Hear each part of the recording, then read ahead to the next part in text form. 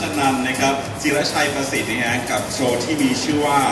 Heartbeat จังหวะจะรักขอเสียงปรบมือดังๆให้กับน้องๆทั้งสามคนด้วยครับ